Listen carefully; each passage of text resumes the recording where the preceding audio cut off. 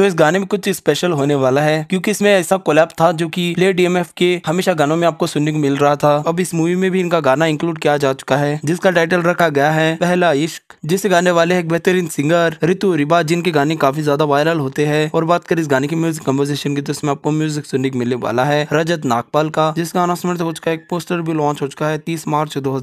को अब इसका आपको टीजर भी देखने को मिलने वाला है और बात करें इस गाने की रिलीज डेट की तो यह गाना आपको एक अप्रैल दो को देखने को मिलने वाला है 해. 네.